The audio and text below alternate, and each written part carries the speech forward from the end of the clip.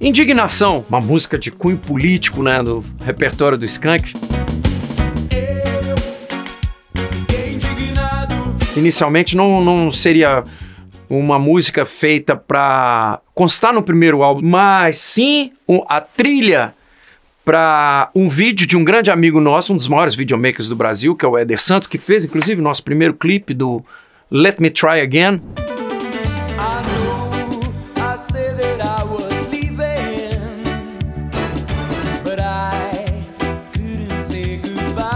O Éder entrou com um videoclipe é, comemorativo, o, o, o, viés era, o tema era o bicentenário da Inconfidência Mineira. E ele pediu pra gente uma trilha.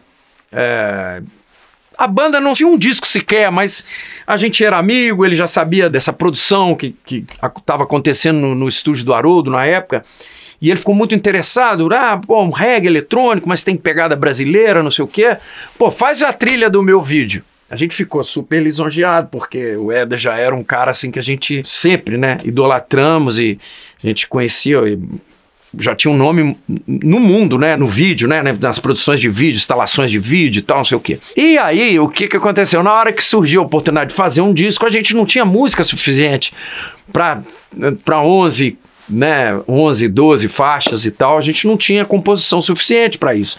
Então a gente saiu pegando coisas, né, coisas que eu tinha composto uh, antes na minha outra banda e tal. E falou, pô, indignação é, um, é uma ideia tão legal que a gente podia continuar ela, porque era um minuto, né? Ela chamava Vídeo do Minuto, o festival. Então ela tinha um minuto de duração. É, então, pô, vamos fazer essa música durar dois minutos e meio.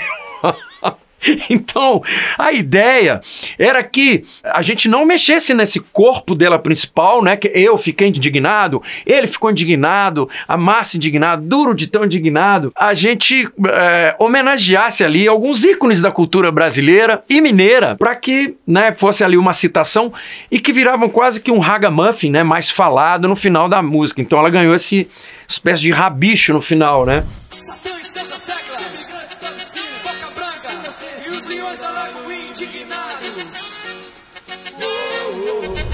A motivação, obviamente, era política para essa letra, né?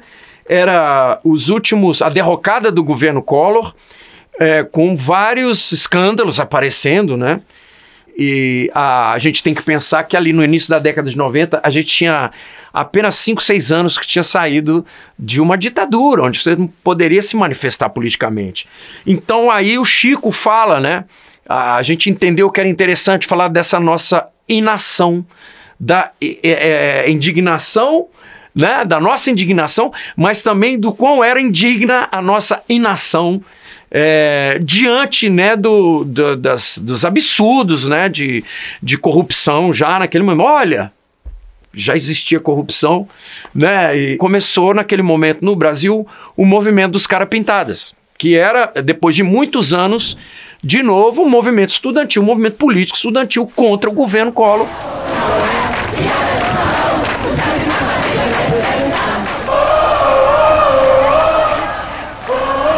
E uh, em Belo Horizonte eu comecei a receber informações, notícias de amigos que tinham ido em passeatas e que a música Indignação tinha tocado. E o termo da moda virou é, se indignar. Estamos indignados, né? Tá todo mundo indignado com o que está acontecendo no governo.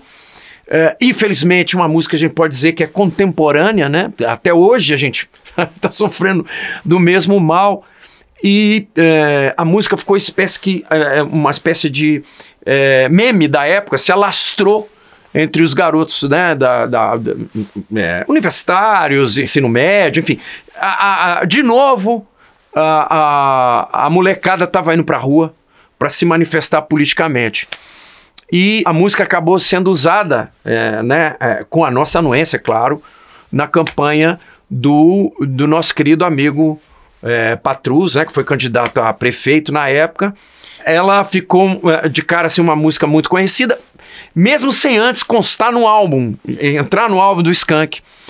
E quando entrou, a gente teve a ideia: vamos continuar a letra e homenagear. Então você ouve Lazumatumbi, Araqueto, Ileaê, a Bahia Indignada. eram os, é, os, os nomes mais proeminentes da nova música baiana, né? O Lazo, que, que é, fazia um, um, um, um, samba reggae, né? O, o, talvez ali junto com o axé também começando e tal. Abolição, abolição, a lição do meu avô, que casou com minha avó e que minha mãe. Depois a gente passa para o samba carioca, ou seja, naquela intenção de fazer a linguagem do skunk mineira, aliás, mais do que mineira, Belo Horizontina, mas não só Belo Horizontino, a gente queria dizer para as pessoas que a gente estava antenado com tudo que estava acontecendo no Brasil, né? E principalmente dos movimentos musicais. Então, Ivo, o Ivo Meirelles, né? Que era da Mangueira e depois montou o Funk em Lata, lançou a carreira dele. Então a gente, ó, estamos conectados com o Ivo. Era a cena. Então falamos, e obviamente dos medalhões, Carlos Cachaça, Morengueira, enfim, é, vamos falando de todo mundo.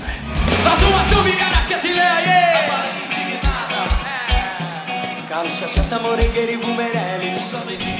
foi um negócio tão legal, assim, né? Porque eram os jovens ali, de classe média, de Belo Horizonte. Então a gente trouxe, eh, de certa forma, uma homenagem, né? Palco Meu, Pai Tomás, Santa Marta. Eu não me lembro de até chegar nesse, nesse momento da música popular feita em Belo Horizonte, em algum momento que é, é, esses lugares, né? É, essas, essas comunidades tenham sido citadas, né? Mostrava uma inquietação nossa de poder falar de várias coisas, né? De conjugar bandidos famosos como Ramiro da Cartucheira, o Skank apontando ali para o, o que interessava, né? Homenagear grandes pontas da, do futebol brasileiro até chegar nos blocos é, do carnaval Belo Horizontino, que àquela altura tinha perdido muito seu brilho, né? É, é, sofria muito com a falta de, de apoio e tal. Hoje não, retomou retomada a tradição dos blocos em Belo Horizonte, mas naquela época não, mas dos blocos antigos, né? É, é, Satã e seus asseclas, imigrantes da Abissínia, até chegar também naquilo que é o, o, o, prato favorito da banda, né? Durante muito tempo, que é falar de futebol, das torcidas. Então a gente entra com Gaviões, Galocura, Máfia Azul, Independente, homenageando aquelas torcidas organizadas que a gente conhecia, né? As de Belo Horizonte, Máfia Azul e Galocura é, a gente conhecia bem, mas de longe a gente sabia da, da Mancha, da, da Gaviões, né, da, da, da Jovem, do, do, do, Vasco, enfim, e, e, e entrou todo mundo na, na, no panteão dos indignados para ser uma música que era uma brincadeira, né? Era uma, obviamente uma brincadeira e, e que acabou sendo, é, naquele momento, uma espécie de vitrine, né? De quem começou a conhecer o skunk, muita gente entrou pela porta de indignação. Ela de cara saltava aos ouvidos quando alguém escutava o disco e uh, ela teve essa espécie de movimento, né? Ela acompanhou esse movimento dos cara pintadas em Belo Horizonte. Uh, o que para nós foi muito legal, né? Acabou sendo aquela conexão que faltava, que precisava com a molecada é, Belo Horizontina. E eu, eu digo muito que o Skank quebrou muito esse paradigma e essa máxima que existia em Belo Horizonte, que todo mundo falava: ah, mas para você acontecer, para o Belo Horizontino gostar, para você entrar na cena em Belo Horizonte, você precisa agradar Rio e São Paulo primeiro. Né? E o Skank não, fez a trajetória inversa. Né? A gente começou como uma banda muito, né, heróis locais, vamos dizer assim, né, muito de BH e tal. E talvez isso tenha ajudado a criar, talvez não, isso ajudou a criar, a, a forjar a identidade, a assinatura da banda, né? Que todo mundo até hoje fala, ah, os mineiros do Skank, né? Ah, a banda que vem de Minas até hoje, ficou muito marcado a nossa origem, né? Oh, a nossa indignação é uma música sem asas, não ultrapassa as janelas de nossas casas. Essas marcas que o lugar deixa numa produção cultural são incríveis, né?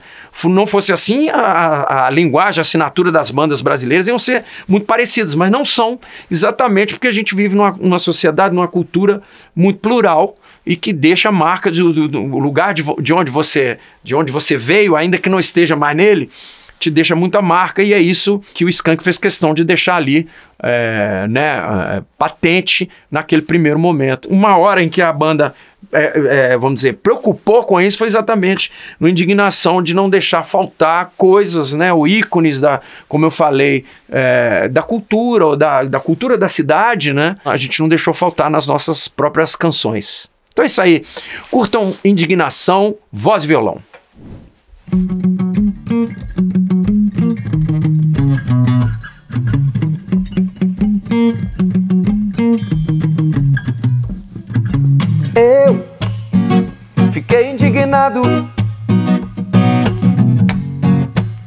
Ele ficou indignado.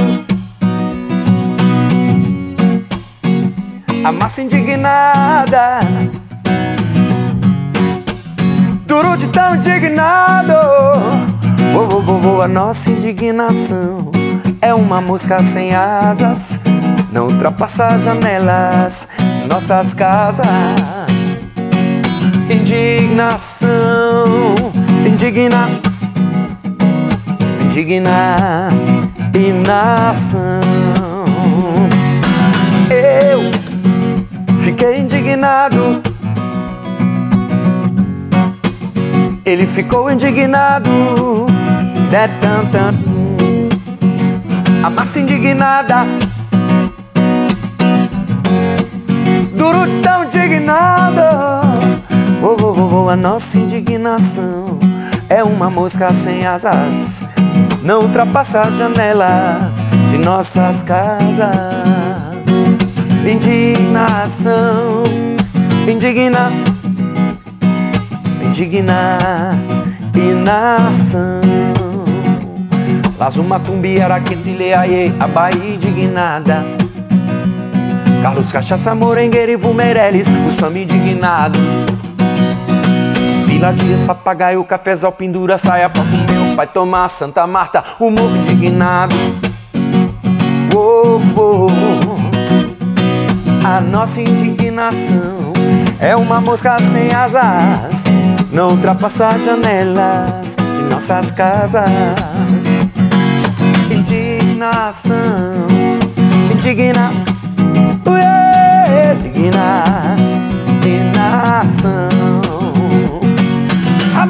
Flávio Escadinha, o crime indignado. Cafuringa, Natal e Jairzinho lá na ponta indignados. Satã e seus asseclas imigrantes da Abissínia, boca branca inocentes e os leões da lagoa indignados. Oh, oh. Jaguarão, Oiapoque, Guaicurus, a zona indignada. Xingamão branca, negris de sinhaca, poeira indignada.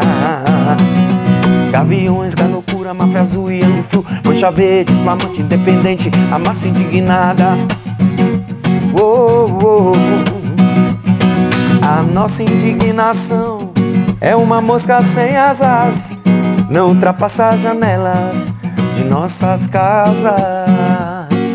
Indignação Indigna Indigna. E nação.